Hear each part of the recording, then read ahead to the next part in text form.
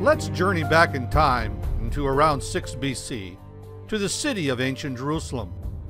King Herod the Great was sitting on the throne of Judea. The center of Jerusalem life was the massive temple built by Herod, who commenced construction in 21 BC. This glorious edifice was not finished until 64 AD under the direction of Agrippa II, just six years before its destruction by the Romans. At the heart of the Jerusalem temple was the daily sacrifice and priestly ministry. Nearly 1,000 years before the birth of Christ, King David erected a tent on Mount Zion in Jerusalem that housed the Ark of the Covenant. This tent is referred to in the Bible as the Tabernacle of David. King David organized the tribe of Levi into 24 divisions in order that priestly ministration, worship, and praise could be offered to God 24 hours per day, seven days a week. Each of these 24 divisions took turns serving in the tabernacle, two non consecutive weeks per year. This priestly organization was carried over to the Temple of Solomon and down through Hebrew history. The Gospel of Luke brings us to the ministry of one old priest by the name of Zechariah, who was from the tribe of Abijah, the eighth division of the 24. Luke attests to the fact that Zechariah and his wife, Elizabeth, were righteous before God in word and faith. This accolade tells us much about Zechariah. He was a man who honored God in faith, not just the legalistic code of his priestly heritage. He was a man who walked before God in the spirit of the law, not the letter. The fact that Zechariah was a priest in the temple also tells us something. Most of the priesthood was composed of members of the Sadducean party who were aristocratic. In a later episode, we will discuss the differences between the Sadducees and the other Jewish religious groups that impacted the Gospels. We know from Luke's narrative that Elizabeth, the wife of Zechariah, was beyond the years of childbearing, and she had no children. She was barren. To this elderly couple, this barrenness was a social and economic disaster. Without children, Parents had no one to support them in their old age. But more so, barrenness was a social stigma seen as a judgment for sin and a defect of the wife. Into this arena, Zechariah stepped forth to perform his duties as a priest in the temple of God. The highest honor of priestly ministration was the burning of incense before the altar of incense but there were over 18,000 available candidates in the temple at this time. This honor was usually granted only once in a lifetime. Therefore, in order to prevent argument and contention, the honor was selected by the drawing of lots, with the white lot receiving the honor. On this given day, the lot selection fell to old Zechariah. When the time for the burning of incense came, Zechariah moved into the holy place of the temple and stood before the altar of incense, with the smoke of the sacred incense filling the temple. Outside, all the assembled worshippers were engaged in prayer, waiting for the return of Zechariah. The most marvelous thing occurred during Zechariah's ministry. In the midst of the sacred smoke, the angel Gabriel appeared at the right side of the altar. Zechariah, who was startled by the angelic visitation, was gripped with fear. The angel, sensing Zechariah's fear, attempted to calm him before he performed his duty as the messenger of God. Gabriel said, Do not be afraid, Zechariah. Your prayer has been heard. Your wife Elizabeth will bear you a son, and you will give him the name John. He will be a joy and a delight to you, and many will rejoice because of his birth. For he will be great in the sight of the Lord he is never to take wine or other fermented drink, and he will be filled with the Holy Spirit even from birth. Many of the people of Israel will he bring back to the Lord their God. And he will go on before the Lord in the spirit and the power of Elijah, to turn the hearts of their fathers to their children, and the disobedient to the wisdom of the righteous, to make ready a people prepared for the Lord. Zechariah, a priest of faith, responded with human reason, not faith. he judged his wife and himself to be too old to have children. The angel answered, I am Gabriel. I stand in the presence of God, and I have been sent to speak to you and to tell you this good news.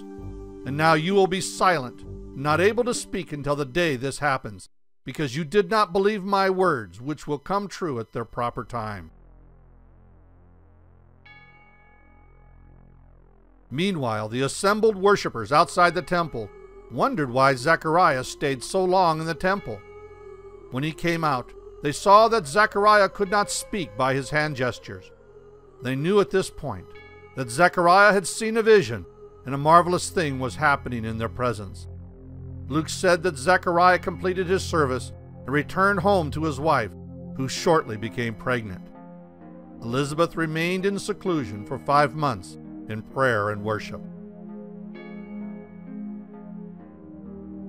It's important to note that John would be consecrated as an ascetic Nazarite dedicated to the mission and purpose of God.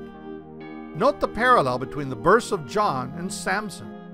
Both mothers were barren and in old age, and both mothers were promised a child who would be empowered from birth for a special task. This child, conceived in the barren womb of Elizabeth, would be filled with the Holy Spirit in his mother's womb and who would call Israel to repentance. Stay tuned. This event is yet to come.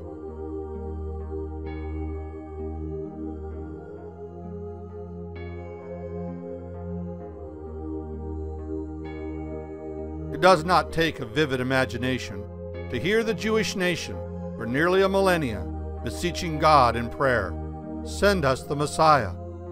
The prayer ascended to the throne of God as a sweet fragrance of burnt incense. God did not ignore their prayer, but it took nearly 1,000 years for God to prepare the nation of Israel and the world of Rome for the mission and ministry of the Messiah. Gabriel completed his mission to the old priest Zechariah and his aged wife Elizabeth. After six months, the angel Gabriel was sent by God with another message to a small town in Galilee named Nazareth to a young virgin named Mary, who was approximately 15 years old. This young maiden was betrothed to a Nazarene carpenter by the name of Joseph. The message being carried by Gabriel was the final answer to a millennia of prayer concerning the Messiah. Gabriel carried this historic announcement to Galilee, not to Jerusalem, or Judea, or even to Bethlehem. This is truly amazing. It sure seems that God is not concerned with the opinions of men. Historical records from this time period in Jerusalem history indicate that the inhabitants of Jerusalem looked down upon the Galileans as inferior people because they were only occasionally able to attend services at the temple. There was a Jewish proverb from this time period that said, If a man wants to be rich, go to Galilee. Should he want to be wise, go to Jerusalem. Gabriel saluted Mary with the declaration that she found favor with the Lord. This salutation tells us something about Mary. She must have been a young woman of faith because the Bible teaches that it's impossible to please God without faith. Gabriel delivered the message sent from the throne of God. You will be with child and give birth to a son, and you are to give him the name Jesus. He will be great and will be called the Son of the Most High. The Lord God will give him the throne of his father David, and he will reign over the house of Jacob forever. His kingdom will never end. It's interesting to note that Luke used the Greek translation of the child's name. Jesus is the Greek form of the Hebrew name Joshua that is translated Jehovah saved. Joseph, the betrothed husband of Mary, was also instructed by God in a dream to name the Christ child Jesus. How can this be? Isaiah understood that the Messiah would be born of a virgin and called Emmanuel, not Jesus. Did Isaiah misunderstand God? How can we solve this dilemma? This conflict can be solved by the realization that Jesus would be his physical name, while Emmanuel is a title of honor and respect. Gabriel also informed Mary that the child would be the son of the Most High, and her son would inherit the throne of his father David. What kind of covenant with David did the coming of Jesus fulfill? God made a covenant with David in 2 Samuel chapter 7, 12 through 16, that his house, kingdom, and throne would be established forever. How could a mortal man, a descendant of David, inherit an eternal throne? It's apparent that none of the descendants of David, including Solomon, could inherit the eternal covenant given to David. Each of David's descendants played a part in the eternal plan of God, but they were not the inheritor. Gabriel informed Mary that the true inheritor of David's eternal covenant would be her son, Jesus. Only eternal flesh could sit on an eternal throne and have an eternal kingdom. As of yet, the world has not seen the manifestation of Jesus Christ as the eternal King. This event will occur during the second advent of Jesus when he is revealed to the earth as the eternal King, the inheritor of the covenant of David. We are still living and waiting for the final revelation of the covenant of David, the manifestation of the king priest spoken by the prophet Zechariah. Consider this thought. The name Jesus represents the covenant God made with Abraham, that the Messiah would be the Savior of the world, while the name Emmanuel, that is translated, God is with us, represents the covenant God made with David, that the Messiah would be Lord of all. Mary turns to the angelic messenger with confusion on her face. We have a problem. How can this promise be fulfilled since I'm a virgin? The angel Gabriel quietly and simply answered the question. The Holy Spirit will come upon you, and the power of the Most High will overshadow you. So the Holy One to be born will be called the Son of God. Even Elizabeth, your relative, is going to have a child in her old age, and she who was said to be barren is in her sixth month.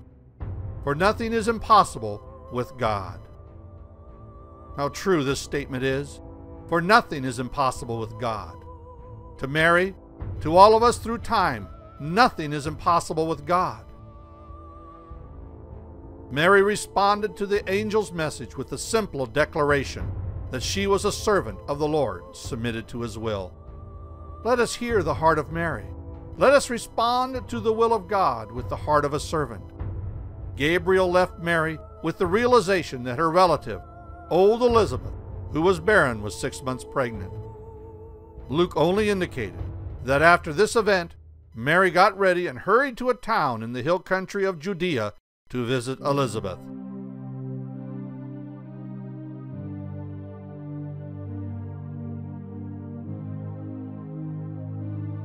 What time frame elapsed between the Annunciation and Mary's visit to Elizabeth? Luke does not make this point clear. How would Anna, the mother of Mary, respond to the announcement that her Mary is pregnant with the coming Messiah. I doubt that she was happy. What kind of trouble and shame will this illegitimate pregnancy bring upon the family? Who is the father? Is Joseph the father? If not, how will Joseph respond? Was Mary sent to her cousin Elizabeth in order to escape family disgrace? How do you think Joseph felt when he heard the confession from Mary, and probably Mary's father, that she was pregnant with the Messiah? The narrative of Matthew's Gospel indicates that Joseph did not believe Mary. He probably thought her story was a wild concoction designed to hide her shame. During these days, a betrothal contract was treated as an actual marriage without sexual intimacy. The union could only be dissolved by a regular divorce procedure. According to the book of Deuteronomy, breach of faithfulness was regarded as adultery and punishable with death. Adultery had always been considered a heinous crime throughout the Arab culture. For example, in Egypt, the adulteress had her nose cut off, while in Persia, she had her nose and ears cut off. But the most serious punishment was found in Judea where adultery was a death sentence by stoning. This form of execution is still being used in the Muslim countries of Iran and Iraq. In the case of Mary, the regular punishment would have been death by stoning. Joseph did not want to expose Mary to public shame or infamy due to the fact that he was a just man of mercy and compassion. The law of Moses gave the husband the authority to divorce his wife. The law specifies that a bill of divorce must be issued and the specific causes must be noted. Joseph determined to break his betrothal contract with Mary, but he desired to do so in a quiet fashion without specifying the cause. This action, in itself, is a violation of Deuteronomy marriage law. But Joseph determined that mercy and compassion was more important than adherence to the law of Moses. Joseph did not act hastily, nor did he take the course prescribed by law. I guess we could say that Joseph's action was a sin according to the law, but was it a sin in the eyes of God? The context of Matthew's narrative indicates that Joseph sought God for a proper direction and solution to the problem he had with Mary. God answered his prayer and sent an angel to Joseph in a dream to reveal the truth concerning Mary and her baby. A dream was a common way of making known the will of God to the ancient prophets and the people of God. When Joseph awoke from his sleep, he understood that God spoke to him in a dream. It's important to note that Joseph did not react in fear or conjecture with his dream. It's possible that Joseph was accustomed to prophetic dreams. Could he have the gift of prophecy? His controlled actions seem to indicate this possibility. The angel reminded Joseph that he was a legal heir of King David, and that the child conceived in the womb of Mary was the Messiah, the true heir of the covenant of David. The angel exhorted Joseph to take Mary as his wife because her wild concoction was true. The child growing in her womb was conceived by the power of the Holy Spirit. This child, this simple child was the Messiah, and Joseph would have a direct influence upon Israel and the entire world through this child. The angel admonished Joseph to name the child Jesus because this child would save his people from their sins, not from the Romans. Well, this mission creates a problem since rabbinic doctrine for centuries taught that the Messiah would come to save his people from political dominance and foreign occupation. The Jewish nation had the law of Moses and atoning sacrifices to cover their sin. Why would they need a Messiah who would save them from sin? Isn't that the work of the Passover lamb? Maybe God sees deliverance in a different light than we do. A conflict is coming. The true mission of the Messiah is completely different than the mission proclaimed by the scribes, Pharisees, and teachers of the law. Matthew made one simple statement in his gospel that spoke volumes. When Joseph woke up, he did what the angel of the Lord had commanded him, and he took Mary home as his wife. But he had no union with her until she gave birth to a son, and he gave him the name Jesus.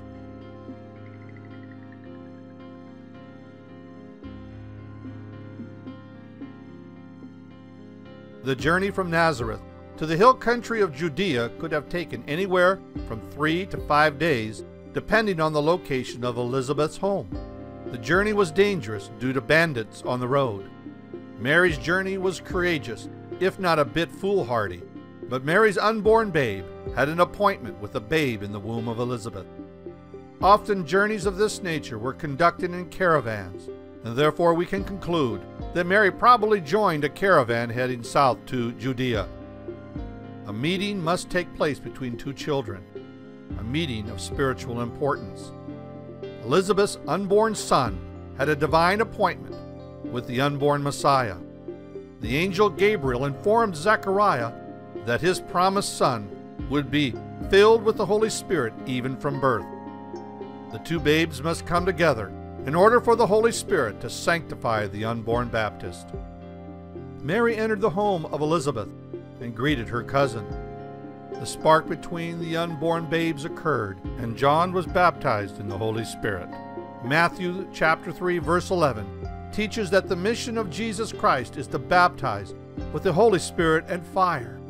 Jesus fulfilled his mission even in his mother's womb. Elizabeth, sensing the power of the Holy Spirit, began to sing praise to the Lord. She sang the song of the Lord in a loud voice. Blessed are you among women, and blessed is the child you bear. But why am I so favored that the mother of my Lord should come to me? As soon as the sound of your greeting reached my ears, the babe in my womb leaped for joy. Blessed is she who has believed that what the Lord has said to her will be accomplished. Through the prophetic vision of the Holy Spirit, Elizabeth understood that the babe in Mary's womb is the Messiah, the Lord of all. She also understood how blessed Mary would be because she believed the Lord. The Holy Spirit being released by the unborn Jesus had a dramatic impact on Mary also. The spirit of prophecy came over Mary, and she began to flow in prophetic utterance. My soul glorifies the Lord, and my spirit rejoices in God my Savior, for he has been mindful of the humble state of his servant. From now on, all generations will call me blessed, for the Mighty One has done great things for me. Holy is his name. His mercy extends to those who fear him, from generation to generation. He has performed mighty deeds with his arm. He has scattered those who are proud in their innermost thoughts. He has brought down rulers from their thrones, but he has lifted up the humble. He has filled the hungry with good things, but he has sent the rich away empty. He has helped his servant Israel, remembering to be merciful to Abraham and his descendants forever, even as he said to our fathers.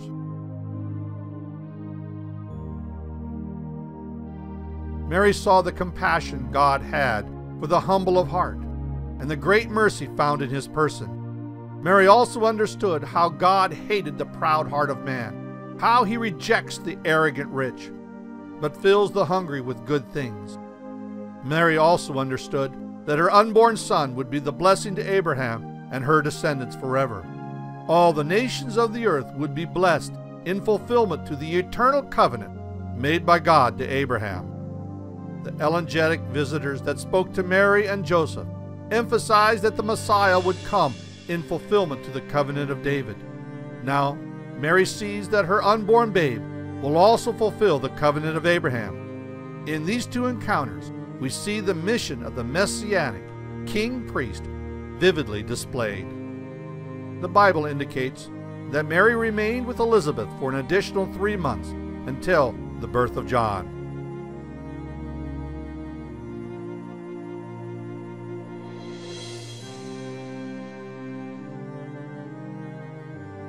In the fullness of time, John is born. And this birth carried special significance because John is a true miracle, coming from the womb of a barren old woman. Family, friends, and neighbors gathered for the circumcision ceremony that was officiated by Zechariah, the father of John. The naming of a child at the circumcision ceremony is unique because Hebrew custom required the child be named at birth but Greek and Roman babies were named eight or nine days after birth. The fact that this ritual turned into a naming ceremony only indicates the influence Greco-Roman culture had on Palestinian custom.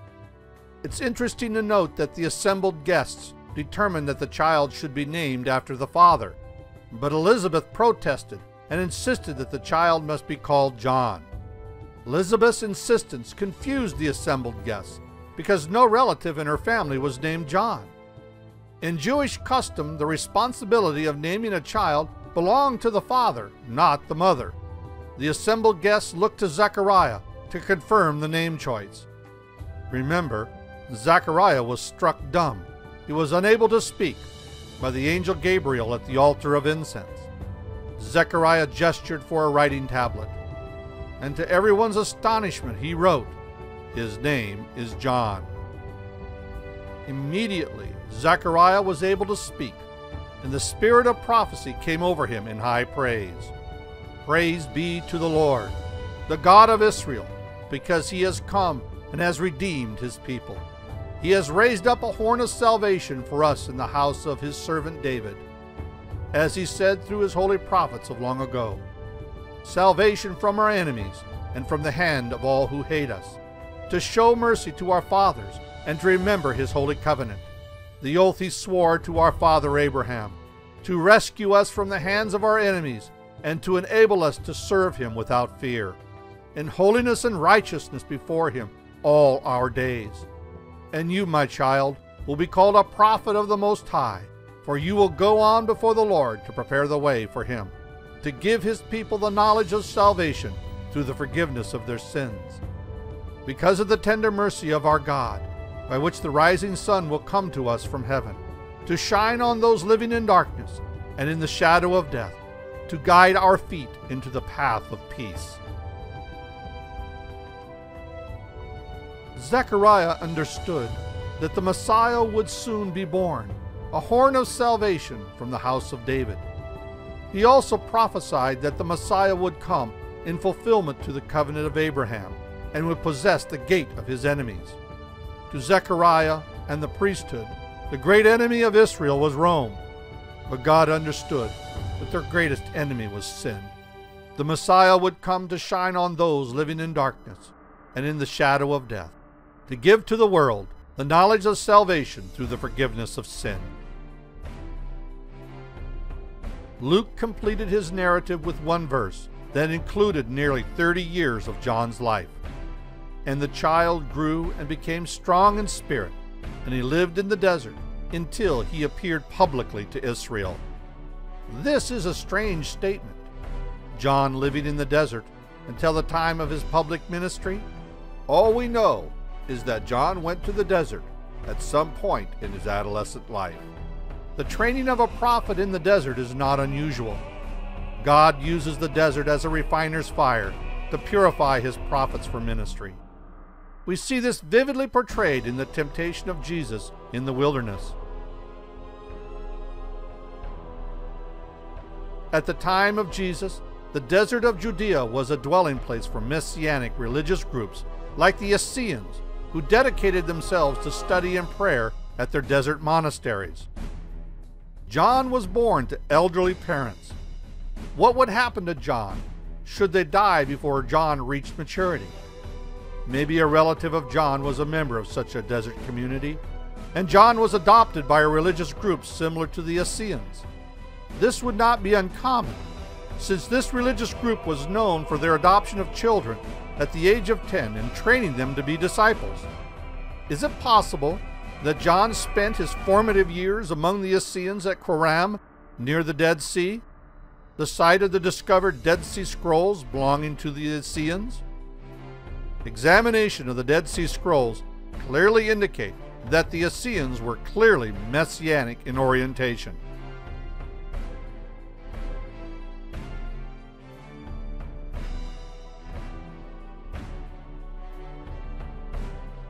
By 6 BC, wide scale censuses were taken every 14 years by Imperial Rome. The information gathered by these censuses were used for evaluating taxes. So it was at the time of the birth of Jesus. Emperor Augustus ordered that a census be taken of the entire Roman Empire. Historical records indicate that this census was conducted according to Jewish custom under the authority of Quirinius, governor of Syria, and the auspices of King Herod the Great. Herod ordered that all families journey to their ancestral homes for census gathering.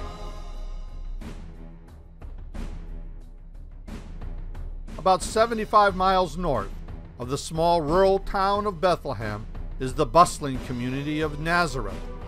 Setting in the modest home of Mary's parents is Joseph with Mary, his pregnant espoused wife. Consider the dilemma created by this census. Joseph and Mary, and probably a large contingent of relatives, must journey to Bethlehem, the ancestral home of King David, since both families were of the house of David, in order to be taxed. The journey from Nazareth to Bethlehem was long and dangerous, especially for a young pregnant woman who was nearing her time of delivery. A direct route to Bethlehem through the hill country of Samaria was physically strenuous and plagued with bandits. The safest route used by the Galilean caravans was to leave Nazareth and travel east to the Jordan River, cross the river, and proceed south on the eastern bank of the Jordan. This route was much easier to travel. The caravans would travel south on the eastern bank of the Jordan until they neared Jerusalem, where they crossed back over and completed their journey to the Holy City. Consider the difficulties Mary must have experienced being near the end of her pregnancy, making such an arduous journey. Is it possible that the journey itself brought on the birth of the baby Jesus? Imagine what conditions must have been like when the weary couple reached the town of Bethlehem. The small community would have been thronged with crowds of people completing the census. Each vacant room would have been filled with frustrated taxpayers. Luke recorded the difficulty of this crowded condition in his gospel. And she brought forth her firstborn son, and wrapped him in swaddling clothes, and laid him in a manger, because there was no room for them in the inn.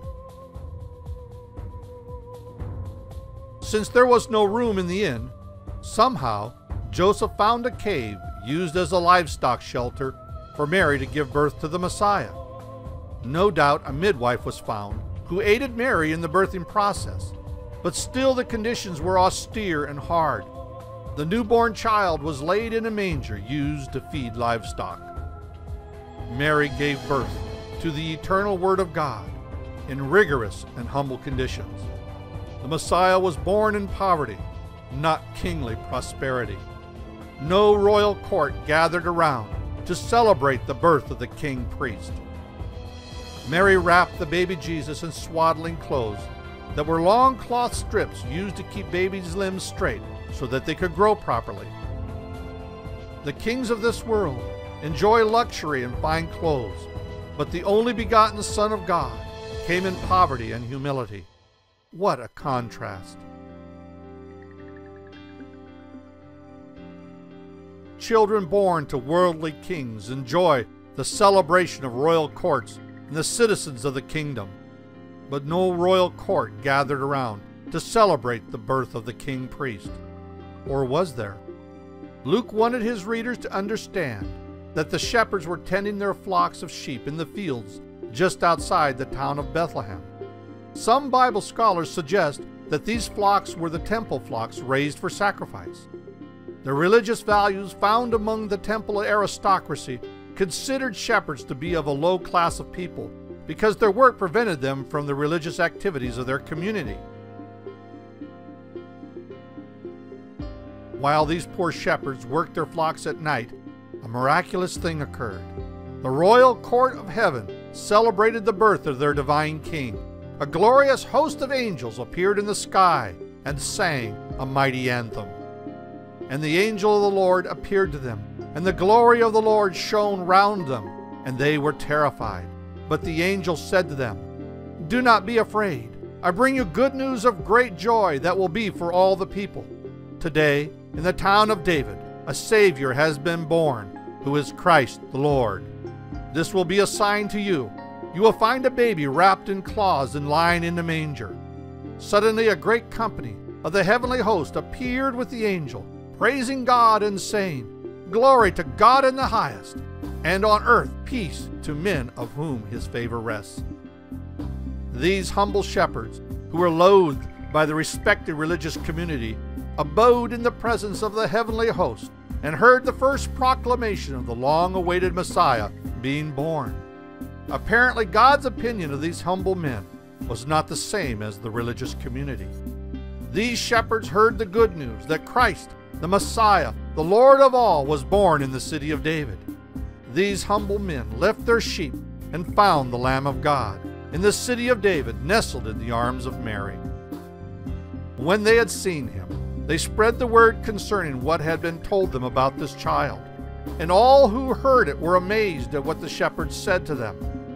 But Mary treasured up all these things and pondered them in her heart. The shepherds returned, glorifying and praising God for all the things they had heard and seen, which were just as they had been told.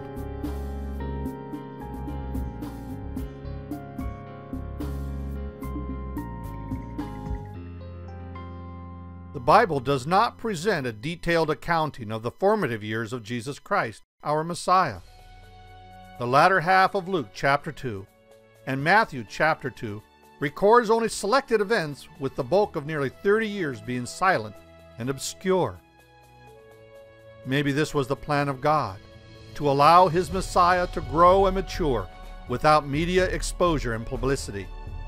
Jesus Christ, the Son of the living God, would experience life through the eyes of a simple carpenter's son, a blue collared worker, often seen but ignored. The Messiah would taste family life the way it is. He would not live in an artificial shell, molded by public scrutiny until the time of his public ministry. Luke mentioned that on the eighth day after the birth of Jesus, Mary and Joseph had him circumcised in accordance with Hebrew law. Since no location is mentioned, we can assume that the ceremony occurred in Bethlehem. Luke also made reference to the days of purification. In Jewish law, a mother was required to remain at home for about 40 days after the birth of a male child, and about 80 for a female. And during that time, she was reckoned as impure. She was not permitted to go to the temple or to engage in religious services with the congregation. Apparently, Joseph and Mary strived to fulfill the law of Moses properly and piously.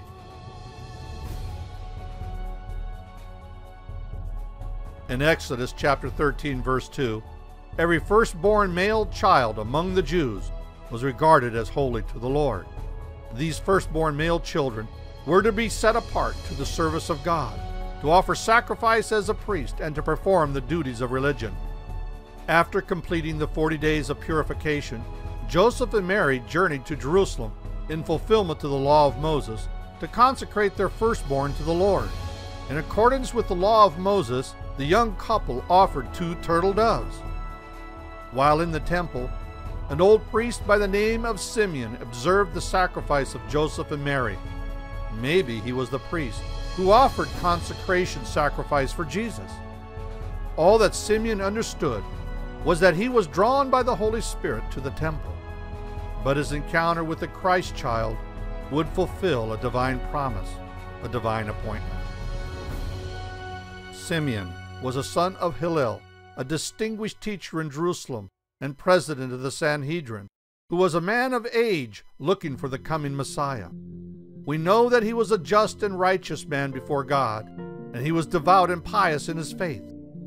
Simeon was a devout Jew who believed in the messianic consolation of Israel a Jewish term used in that day to describe the mission of the Messiah. The Lord revealed to Simeon, Sovereign Lord, as you have promised, you now dismiss your servant in peace. For my eyes have seen your salvation, which you have prepared in the sight of all people, a light for revelation to the Gentiles, and glory for your people Israel. Simeon could now die in peace, because Jehovah kept his promise and allowed him to see the Messiah. The Holy Spirit revealed to Simeon that the Messiah would come with salvation in his heart, and his ministry would bring revelation to the Gentile nations and glory to the nation of Israel. To a Jewish religious community, the idea of the Messiah bringing light and revelation to the Gentiles would be insulting. The common rabbinic teaching insisted that the Messiah would save the nation of Israel from the foreign domination of Gentile nations. Simeon may not have understood what he prophesied, but his declaration is the first indication that the messianic mission would reach beyond the borders of Israel and touch the nations of the world. The Old Testament prophets understood this simple truth, especially Isaiah. But conquest and blood blinded the eyes of rabbinic thought to the realization that the entire world would partake in the salvation offered by the Messiah. Simeon turned to Joseph and Mary and blessed them. He especially prophesied to Mary Behold, this child is set for the fall and rising again of many in Israel, and for a sign which shall be spoken against. Yea, the sword shall pierce through thine own soul also, that the thoughts of many hearts may be revealed. Simeon prophesied that the ministry of the Messiah would cause considerable controversy in Israel. Many would fall and rise because of Jesus, and many would outright reject his ministry. Why would the long awaited Messiah be rejected by the nation of Israel? The answer is obvious. The real manifestation of the Messiah did not occur according to established rabbinic doctrine. Jesus did not fit into the box created by Jewish dogma. Simeon also implies that a sword would pierce the side of this baby Jesus in order that the thoughts of many might be revealed. This event did occur, but a spear was used by a Roman soldier to pierce the side of Jesus. Luke also noted that an old prophetess named Anna, the daughter of Phanuel, who was of the tribe of Asher, dwelt in the temple. She served God day and night in fasting and prayer. Her greatest desire was to look upon the redemption of Israel. The tribe of Asher dwelt in the northern part of the land of Canaan. No one knows why Anna was a prophetess, but it's possible she was the wife of a prophet.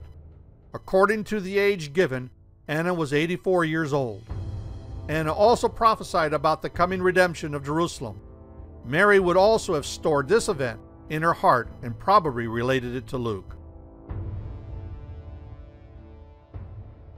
Luke completes the messianic birth narrative with the statement that when Joseph and Mary had done everything required by the law of the Lord, they returned to Nazareth in Galilee. There in this loving home, Jesus grew in strength and wisdom because the grace of God was upon him. What is not clear is the actual timeline this event followed. Luke omitted the visit of the Magi and the flight to Egypt.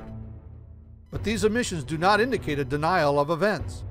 When we harmonize Luke's narrative with the Gospel of Matthew, we see that Joseph and Mary returned to Bethlehem to probably await their return caravan to Nazareth. Their return was interrupted by two important events in the life of the newly born Messiah. During the first few months from the birth of Christ to the death of King Herod, Jesus lived in Bethlehem. During this period, the Magi came from the east to worship the Christ child. In order to understand the actual physical town of the messianic birth, the Magi went to Jerusalem and inquired of King Herod's court the location of the Messiah's birthplace. Who were these Magi? Magi were priest sages and students of science, astrology, philosophy, medicine, and religion. The Magi were probably from Persia, Arabia, or Babylon. Some Bible scholars believe that these intellectuals of the Mede Persian Empire received knowledge of a great king who would arise in Judea from the Jewish captives who were in exile in Babylon. In fact, the word magician comes from this priestly class of scholars. According to common church tradition, the Magi came to Jesus two years after his birth because the star that announced his birth was visible for two years. This tradition is not sound biblically, since the Magi presented themselves to King Herod, who died in 4 BC. The presence of the star does not necessarily indicate the actual birth of Jesus. To date the birth of Jesus two years prior to the death of King Herod would cause Jesus to be too old for his adult ministry. Recorded in ancient historical records, the appearance of a new star or comet heralded the coming of some extraordinary event. It's the conjecture of some Bible historians that these astrologers from Persia considered the appearance of a new star to be evidence that the long awaited Messiah was born. These same historians have theorized these astrologers were guided by their belief in the prophecy of Balaam that a star would arise out of Jacob. What did the Magi see? Did they actually see the birth of a new star? There is considerable debate concerning the Star of Bethlehem. Some astronomers like the star to a comet a supernova, or a nova. Other scientists have focused on the conjunction of various planets. But in the end, no one knows for sure. Shortly after the visit of the Magi, Joseph was warned by an angel in a dream to flee with the Christ child to Egypt because Herod sought to kill the child. Herod became extremely angry when the Magi failed to return and report the location of Jesus. In retaliation for the disobedience of the wise men, Herod killed all the male children less than two years of age in Bethlehem in fulfillment of the prophecy given to Jeremiah. Some historians project that only about 10 children would have been murdered. The small number would be a solid reason for why no historical record exists of this atrocity. According to common tradition, Jesus lived in Egypt for several years, but scriptural dating would put Jesus in Egypt for approximately one to two months. With the death of King Herod, Joseph was instructed to bring the Christ child back to Israel, so fulfilling what the Lord had said through the prophet Hosea that out of Egypt he would call his son. Since Archelaus reigned in Judea, Joseph returned to the Galilean city of Nazareth, completing the narrative of Luke.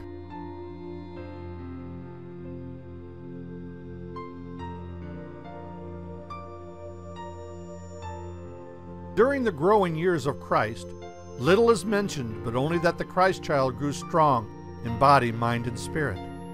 Luke referenced only one event during the adolescence and early adult years of Jesus. According to the law of Moses, an annual pilgrimage to Jerusalem was required at Passover, and we see this event occurring with Jesus at the age of 12. Even though this is a debatable issue, it is believed that this event was the bar mitzvah of Jesus when he was presented to the rabbis as a son of the law and came under the obligation of observing the law personally. This event is significant because we see the great wisdom of the Messiah come out in his discourse with the Jerusalem rabbis. The very fact that Jesus believed that the holy temple of Jerusalem was the house of his Father is a clear indication that Jesus, at this young age, understood his relationship to God and his messianic mission.